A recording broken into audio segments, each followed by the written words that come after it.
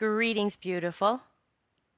You are listening to Stepping into the Light with Julia Treat. That's me, your host, from juliatreat.com.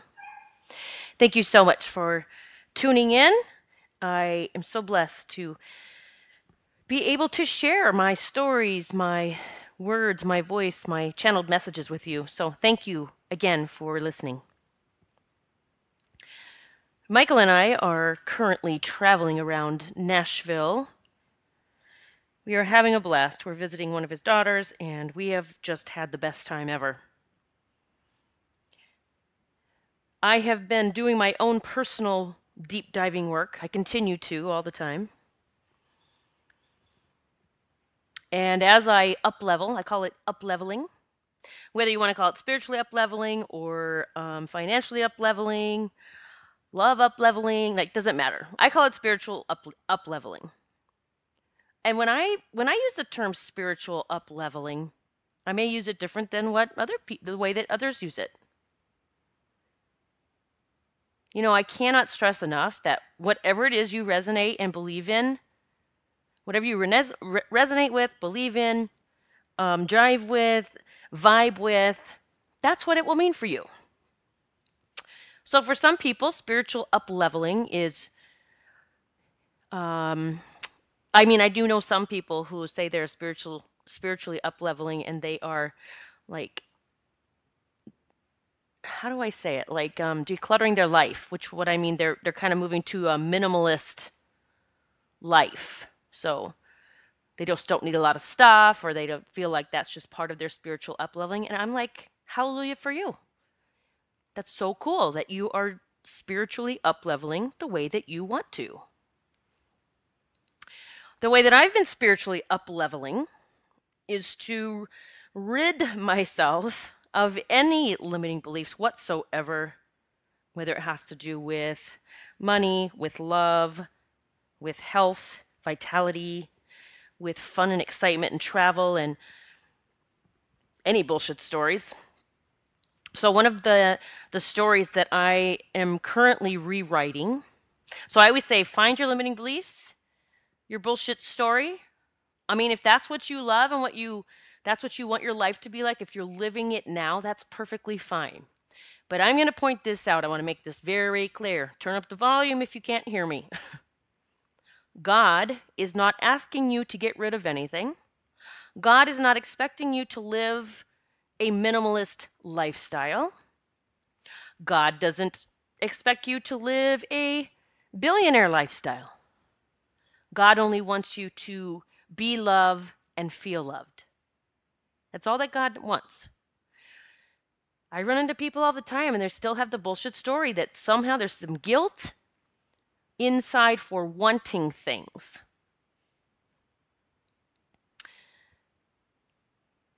So I have been up leveling. I continue to.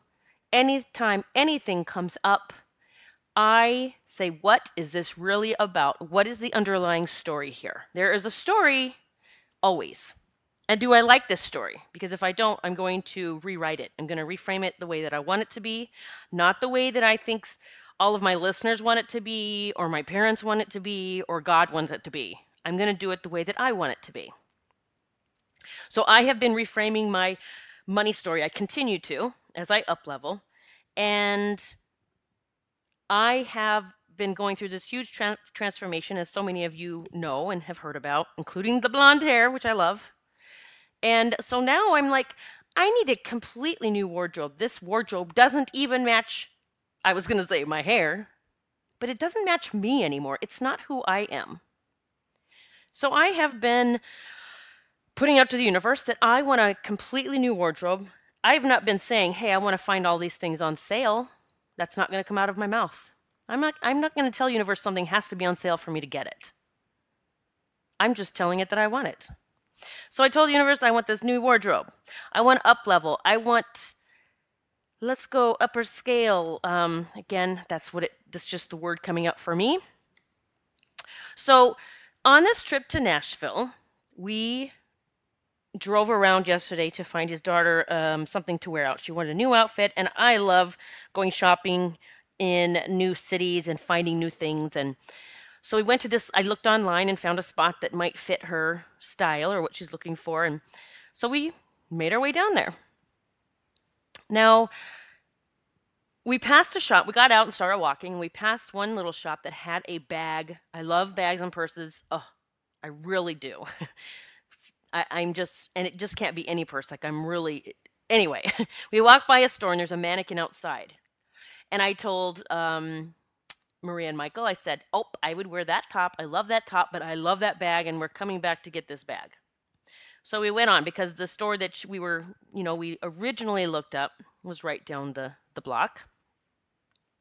And so we made it down there. Maria found something. I actually found a new dress down there. And I was like, yes, like this is the new me. I love this style of dress. So we make it back to the shop where I saw the bag. And I walked inside, and lo and behold, the entire store is filled with all of the types of clothing. I'm going to say like boho type, bohemian, or flowy, or everything that I actually love now. And so the woman inside the store, you know, began, she saw that I was picking lots of pieces. I wasn't looking at price tags, I was just grabbing pieces. I don't have to look at the price tag. I'm not going to let that hinder me on whether or not I'm going to decide to buy something I absolutely love. All I'm doing is trying on things and telling the universe, I love this or I don't love this, and I'm not getting this. So as we started, and she you know, uh, Maria was trying on things. We just kind of started going crazy and finding lots of things that we wanted to try. She said, Well, would you ladies like some Chardonnay as you shop? And I looked at Maria and I was like, Of course we. I said, I think I said something like, Shall we partake? And I was like, Yes, we would love that. So now we're shopping with wine in our hand. In my book, that's kind of up leveling from where I've used to shop. So I said, Maria, why don't you? Her father, who was already done shopping, uh, was waiting in the car for us in, the air conditioning. It was super hot there. I said, why don't you text your father? See if he wants to come down and have some wine with us while we shop. I didn't ask the shopkeeper if it's okay, if she would share more wine. I just said, get your father in here if he wants some wine. So Michael came in. We're all three drinking wine now. Michael's sitting in her chair, just relaxing, and I'm trying on different outfits. So I end up buying, I think, anyway, and I am getting to this whole thing. Do we connect with the same stuff? First of all, I gotta I gotta tell you, you are connecting with the same universe I am. When I'm at this shop finding pieces that I'm just gonna say are higher than I usually spend. I'm gonna say higher than I used to spend. That's the new term. Higher than I used to spend.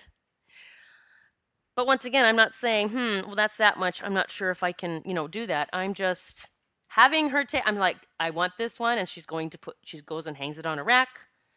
I don't like this one, but let me try that one. So I got probably five different things, um, outfits or tops. And then I ended up getting three or four pairs of new earrings. I need new earrings. I knew new everything. I got a bag. I mean, I just had a ball. So she comes over and she's um, you know, going through Uh, she has her list on her phone. That's where she like puts her orders in on her phone with her billing system. And she comes through and she's checking with me because it's a long list. And she's like this and this and this and this. And I'm saying yes, that and that. So everything, yes, lined up. And there's the total. So here's the fun. I know I, I giggled because you know you've up leveled if they're actually not even going to tell you the total in front of the people that you're with. I just thought that was so funny. And so I said, yes, you know, here's my card. Let's do this.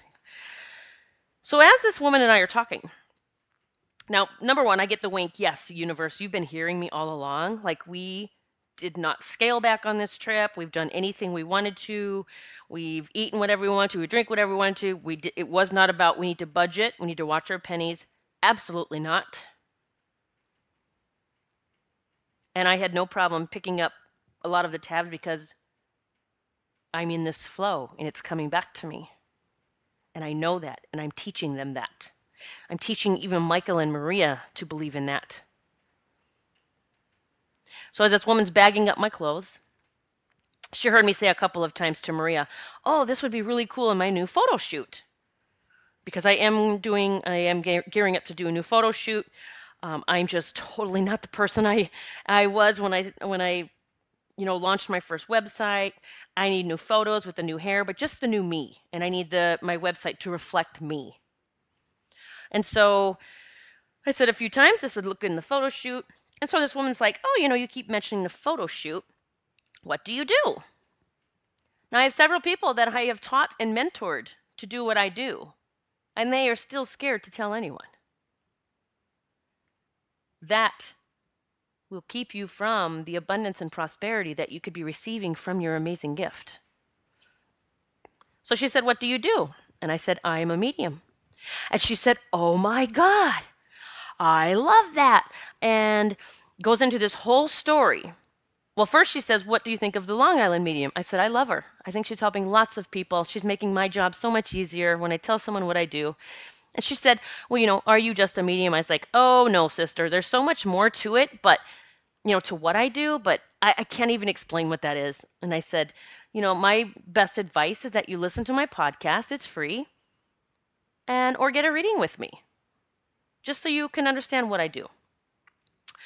So she starts telling me how she was a channeler when she was younger. She was a healer. She took all these courses and she was naming them off one by one. I didn't know what half of them were. Because I truly believe, by the way, that our soul remembers all of this. It remembers how to heal, it remembers how to channel.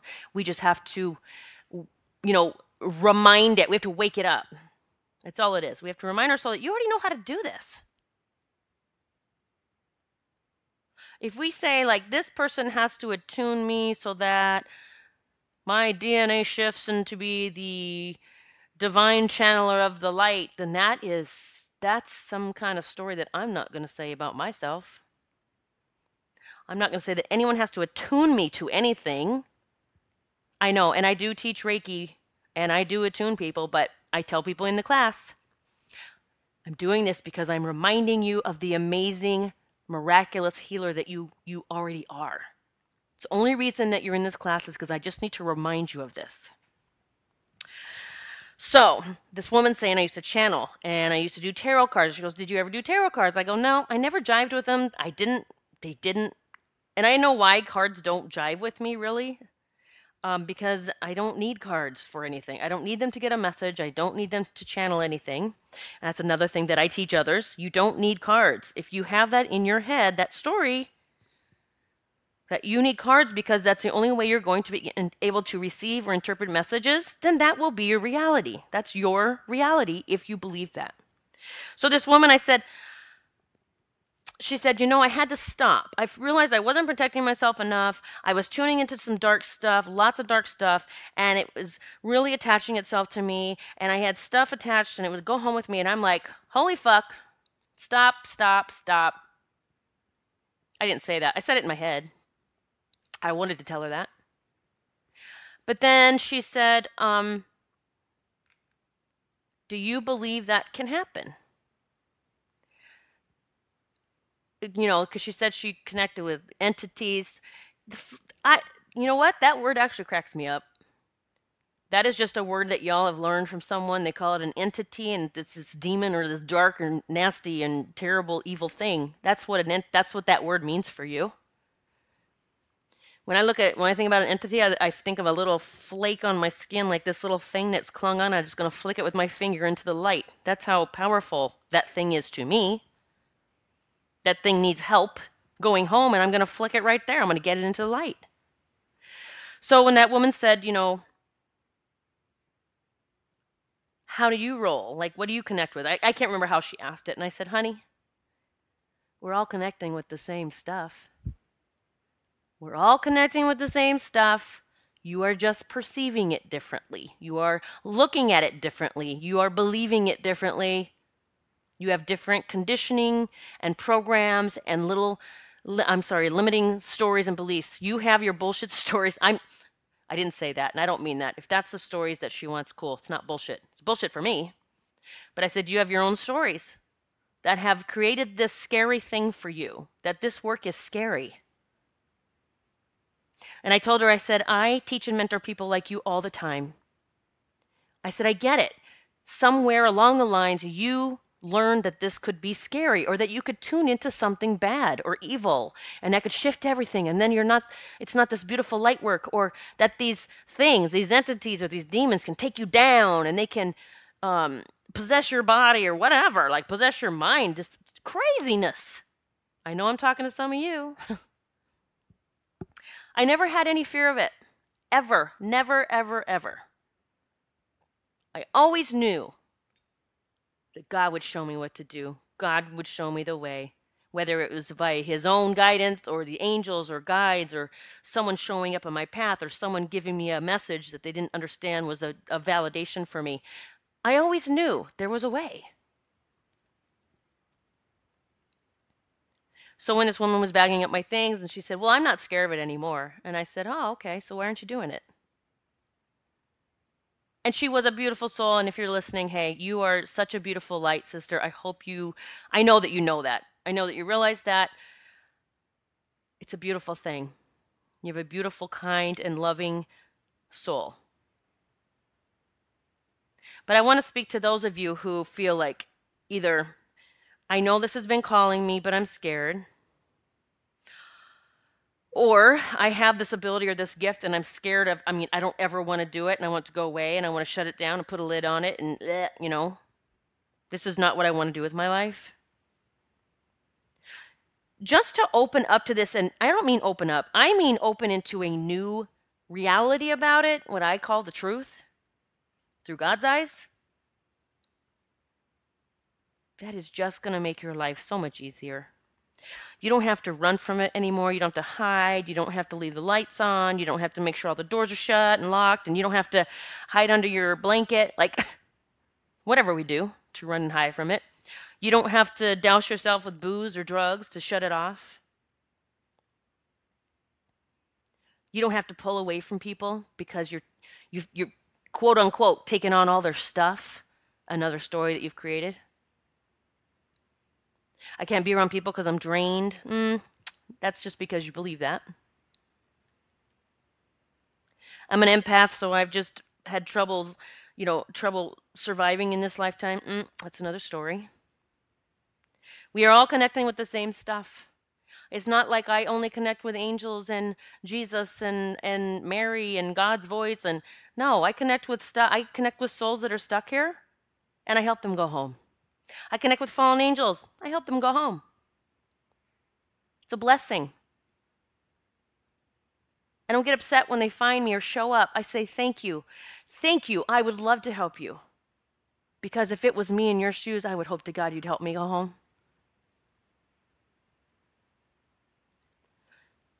Your gift, your awakening, your purpose, can be so fucking beautiful.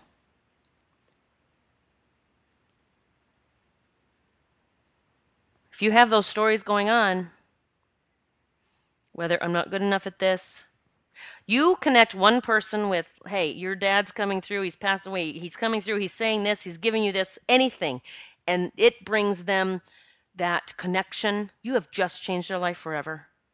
That's priceless. One thing I help people step into that I mentor is that it is okay to be paid very, very well for what you do. And I, I usually say massively fucking well.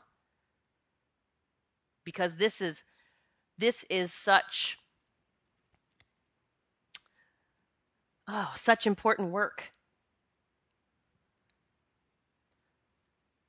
So I like to have the money rolling in, lots of it because I like to take a really good care of myself. I love to go on trips where I get to just laugh or sing or dance or see new places. I love to get massages from the best. I love to eat well. A chef is on is next on my list that I will I am calling in a chef because Michael and I are done. We're sick of cooking. I never really liked it to begin with, to be honest. So, I hope this, you know, this podcast today is all about helping you realize we are all connecting with the same stuff. It is universe. It's universe.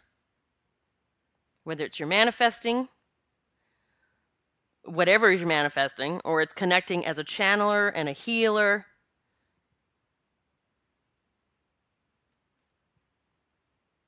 You know, I told that woman when she said, you know, I connected with dark stuff and I had to stop and I had to close it off and I had to walk away. And I said, she said, what do you, you know, what do you connect with? I said, honey, we're connecting with the same stuff. It's your perspective, it's what you believe, it's what you've been taught or told or read or heard that could happen. This bad stuff. It's bullshit.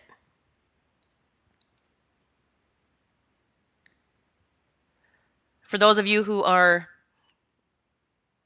geared up, ready to enter into this realm as a channel or a medium and an angel intuitive in a and just ready to just embrace your destiny my weekend course is coming up July 14th and 15th. It is filling up. Several people are already in. I will put the link in the podcast. You can always call me.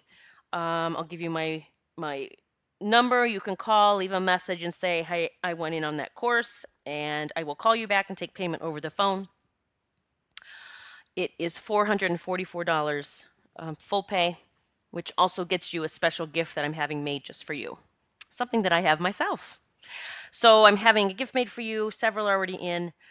The time is now. It's just it's just time. Oh, by the way, the, the hours of the course, some people have asked me. It is a live course with me online. We will be live together, the group and me, face to face, all of us seeing each other, talking, me teaching, getting to know your soul siblings.